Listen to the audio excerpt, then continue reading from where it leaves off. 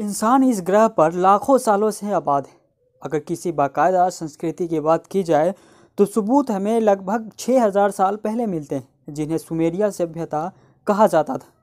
दोस्तों, इंसान ने सभ्यता के शुरू से ही दुनिया को अपनी अक्ल से बदलना शुरू कर दिया और ऐसे ऐसे अजूबे बना डाले जिन्हें देखकर आज का इंसान भी दंग रह जाता है। इनमें से कुछ अजूबे तो ऐसे भी हैं, जो आज तक किसी न किसी हालत में मौजूद हैं। आज के विकासशील इंसान को भी हैरत के समुद्र में डुबो देते हैं। इन्हीं अजायबात में से एक अजूबा मिस्र के पिरामिड, जो दुनिया के सात पुराने अजूबों में सबसे बड़ा है।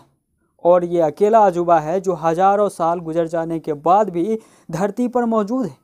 ये रहस्यमय और आश्चर्यजनक निर्माण कैसे, कब और क्यों बनी, किसने बनाई, आइए ये जानने की कोशिश करते हैं।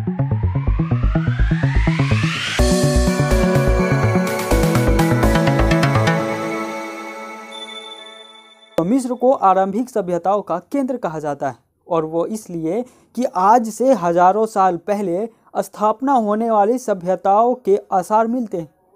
इनमें से प्रमुख मिस्र की राजधानी काहिरा से दूर, गीजा के स्थान पर त्रिकोण के आकार में तीन पिरामिड की गिनती इंसान के द्वारा बनाए गए सबसे प्राचीन निर्माण में होता है। पुरातत्वविदों के मुताबिक पूरे मिस्र में खोजे गए पिरामिड की कुल तादाद एक सौ अड़तीस है। जिनमें से 38 पिरामिड ऐसे हैं जो आज भी मौजूद हैं। इन पिरामिड में सबसे शानदार, the great pyramid of Khufu, the great pyramid of Khafre और मैंकोर है, जिनके बारे में हम आपको अपनी इस वीडियो में बताने जा रहे हैं।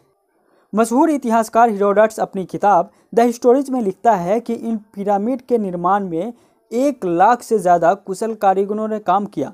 लेकिन आधुनिक पुरातत्वविदों के मुताबिक इस पिरामिड को 20 से तीस हज़ार लोगों ने निर्माण किया। निर्माण की मात्रा के हिसाब से 20वीं सदी के शुरू तक इंसान के हाथ से बनी सबसे ऊँची इमारत का दर्जा भी रखते थे। प्राचीन मिस्र के बादशाहों को फिरौन कहा जाता था।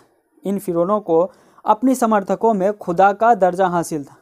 फिरौन खोफों का पिरामिड इन सब में बड़ा है, जिन्हें च्योप्स का पिरामिड भी कहा जाता है।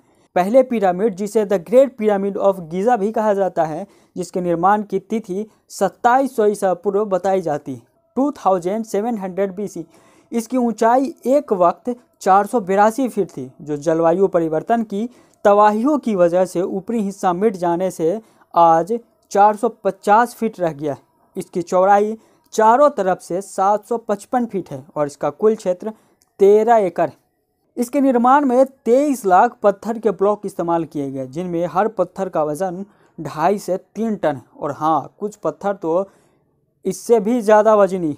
सबसे बड़ा ग्रेनाइट का पत्थर राजा के चैम्बर में मिला, जिसका वज़न 25 से 80 टन पिरामिड खोफों के अंदर अब तक तीन चैम्बर खोजे जा चुके हैं, जिन्हें किंग चैम्बर, क्वीन चैम्बर और भूमिगत चैम्बर कहा जाता है।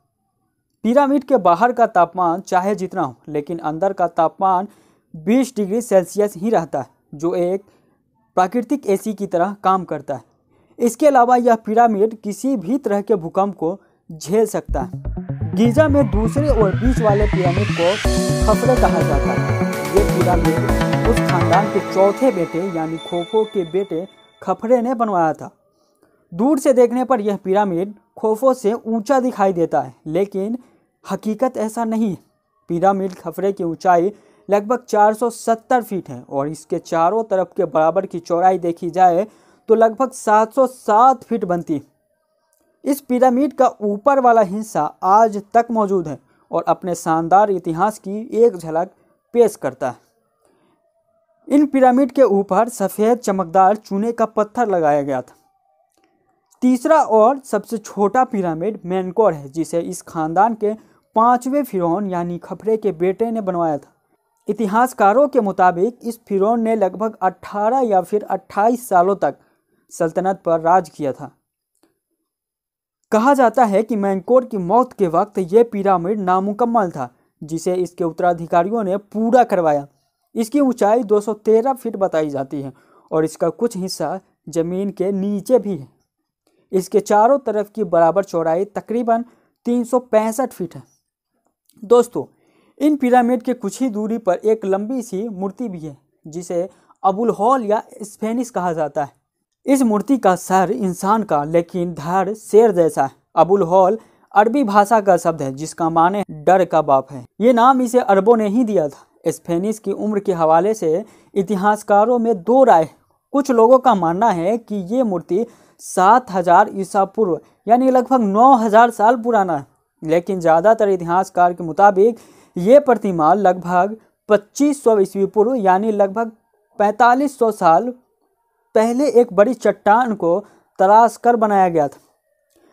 अबुल होल की लंबाई लगभग 240 फीट है और ऊंचाई 66 फीट के करीब है। ये मिस्र की राजधानी काहिरा से 60 मील दूर गीजा के रेगिस्तान में मौजूद चूने के पत्थर लाइमस्टोन की पहाड़ी को काट कर बनाया गया है।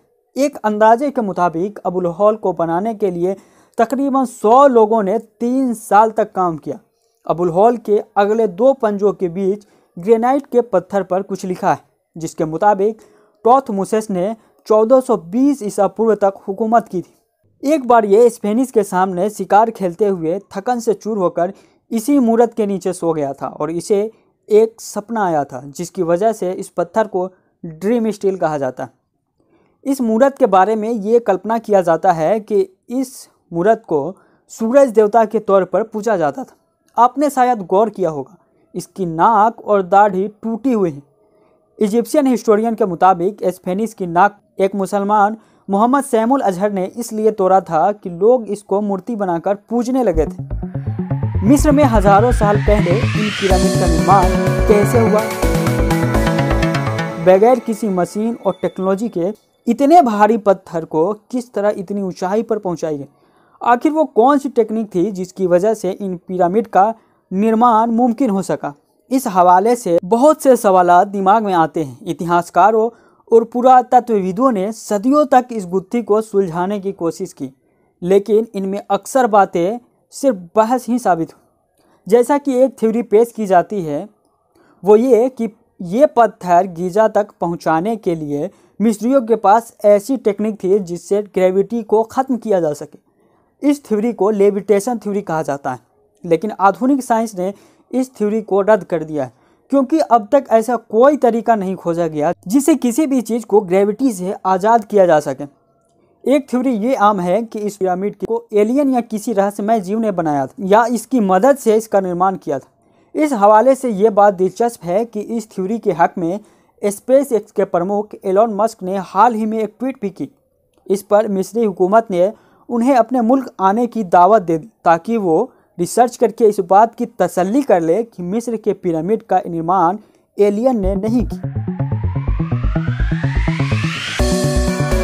इसकी जगह और डायरेक्शन की बात करें तो ये पिरामिड अत्यधिक उन्नत वैज्ञानिक अनुसंधान का प्रतीक है। इनके आर्किटेक्ट ब्रह्मांड के बहुत से रहस्यों को जानते थे।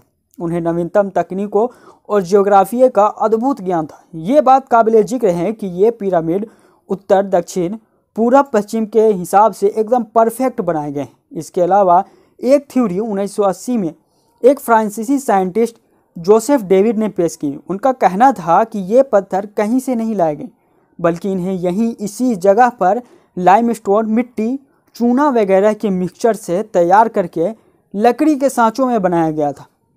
इन सब के अलावा उस थ्योरी की बात करें जो आम और जिन्हें अक्सर हिस्टोरियन सच मानते हैं, वो ये है कि ये ब्लॉक नील नदी के दूसरे किनारे से लगभग आठ किलोमीटर दूर तोरा के एक जगह से लंबी नहर खोद कर नावों के ज़रिए इस जगह तक लाए गए। अब ये सवाल पैदा होता है कि ये पिरामिड क्यों बनाए गए? आखिर इनके निर्माण के पीछे की वजह क्या है? इस संबंध में सबसे सामान्य सिद्धांत ये पेश किया जाता है कि ये पिरामिड फिरौनों की पूजा स्थल थी, क्योंकि ये लोग मौत के बाद की ज़िंदगी पर यकीन रखते थे। हैरत की बात यह है कि यहाँ आज तक जितने चैम्बर खोजे गए, उनमें कोई ममी नहीं मिली। मगर कहा जाता है कि किंग चैम्बर में खोफों का ताबूत था, लेकिन जब वह खोला गया तो वह खाली मिला। इसके अलावा हाल ही में होने वाली कुछ रिसर्च के दौरान इस पिरामिड के करीब से कुछ कंकाल मिले जो फिरौनों की। इन सारे मान्यताओं और थ्योरी को देखते हुए ये बात तो यकीन से कही जा सकती है कि यह पिरामिड ज़रूर किसी खास मकसद के लिए बनाए गए थे। लेकिन वो कौन सा मकसद था, इस बात से पर्दा उठना शायद भी बाकी। एक रिपोर्ट के अनुसार हर साल डेढ़ करोड़ लोग पर्यटन के लिए मिस्र आते हैं। इन पर्यटकों के कारण मिस्र बहुत पैसा कमाता है। इनकी आय का लगभग 12 प्रतिशत पर्यटन पर निर्भर करता है। लेकिन अभी तक बहुत से राज खुलने बाकी उम्मीद है भविष्य में आधुनिक विज्ञान इसके निर्माण का कारण और विधि के रहस्यों को उजागर करने में सक्षम हो पाएगी। दोस्तों, आपको ये वीडियो कैसी लगी? कृपया कमेंट करके बताएँ।